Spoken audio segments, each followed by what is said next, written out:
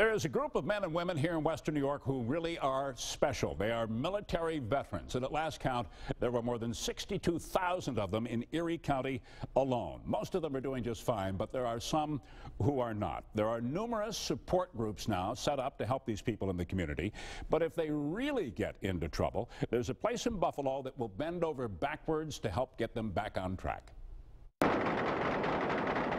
When Americans go to war, the effect of combat on the men and women who come home is with them for the rest of their lives. Post-traumatic stress disorder. Many can't sleep, can't eat. They suffer from depression, and some turn to a life of crime. I was in a pretty um, dark place. I was in active addiction. Um, in and out of jail, back and forth, back and forth, and I was in a regular drug court. Manny Welch came home to Buffalo after the Vietnam War. He couldn't cope became addicted to drugs and alcohol, lost two families, his children, and couldn't keep a job. I didn't have any hope.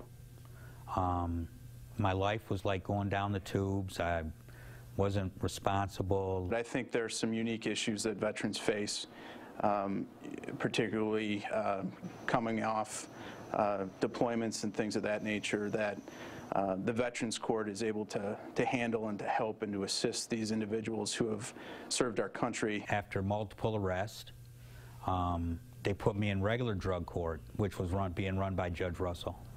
And the regular drug court, it wasn't working for me. Judge Robert Russell, a Buffalo City and County Court judge, saw what was happening and quickly realized that these patriots needed special help. So he created the nation's very first Veterans Treatment Court. It's not a uh, get out of jail free card. It's an extremely rigorous program. Uh, part of the qualification is to have to have an underlying clinical diagnosis of a mental health disease or disorder disorder, uh, clinical diagnosis, uh, potentially uh, uh, being dependent on substances. Uh, some might have a traumatic brain injury. Veterans Court began in Buffalo in 2008. The idea caught on. There are now more than 300 of them all over the U.S. and in Canada.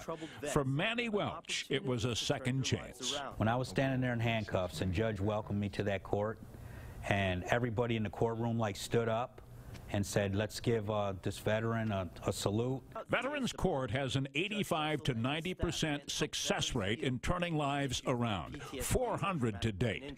So what's the secret? We have a number of men and women who volunteer as volunteer veteran mentors. They are men and women who also serve and their motto in this court is to leave no veteran behind. You have unique individuals that have military experience uh, the judge is extremely experienced and knowledgeable, and um, and and. Uh, we do everything we can to help people when they need help. Typically, they're going to be with the court probably in the average around 18 months, 16 to 18 months.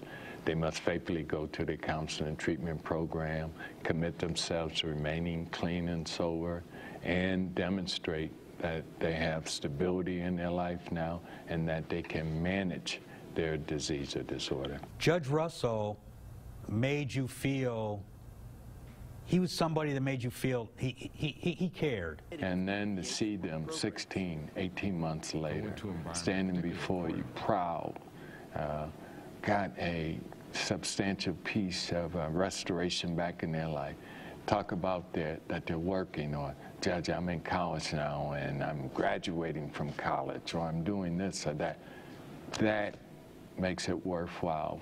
What happened to Manny Welch? He became the very first graduate of Veterans Treatment Court, living proof of a life turned around.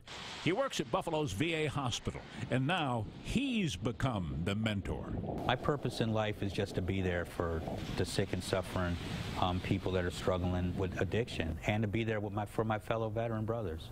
You know, that's my purpose today, just to keep an open door to allow myself to help anyone that needs help that wants to reach out for it. We'd like to thank the VA and Judge Russell's court for helping us out with that story. Still ahead tonight on